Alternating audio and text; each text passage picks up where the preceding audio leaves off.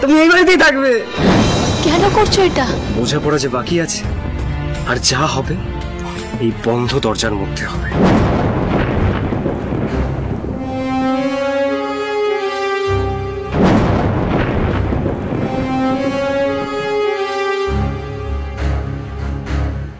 শ্যাম কি করছে এটা?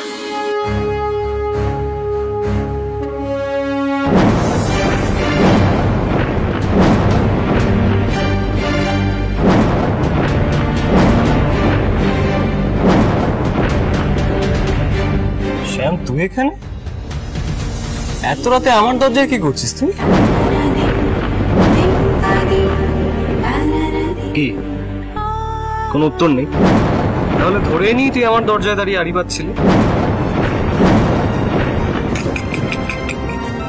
শেষে কিনা তুই আড়ি পাতবি এটা মেনে নেওয়া যায়। এটা একদম মেনে নেওয়া যায় না।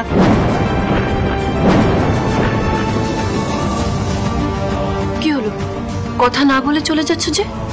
যেটা বলতে এসেছ বলো। আরে না না থাক থাক থাক।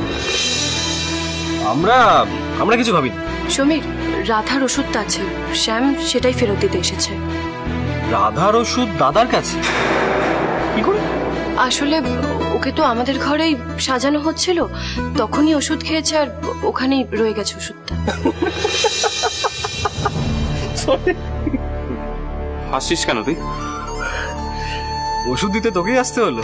তাও আর এই সময়। সমীর কি বলতে চাইছো তুমি?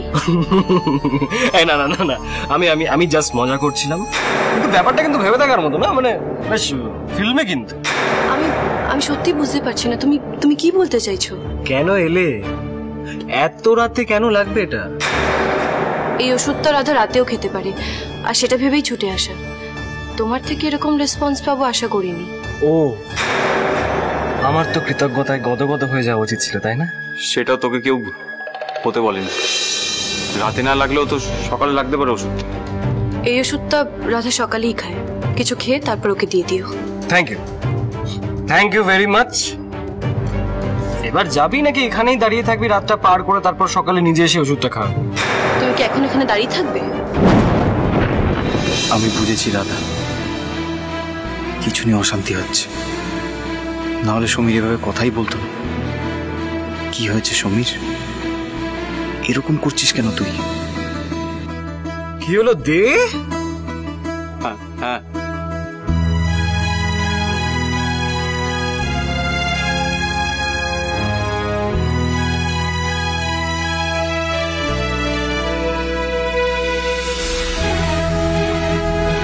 তোমায় হৃদ মাঝারে রাখব। সোম থেকে শনি রাত আটটায় আকাশ আটে।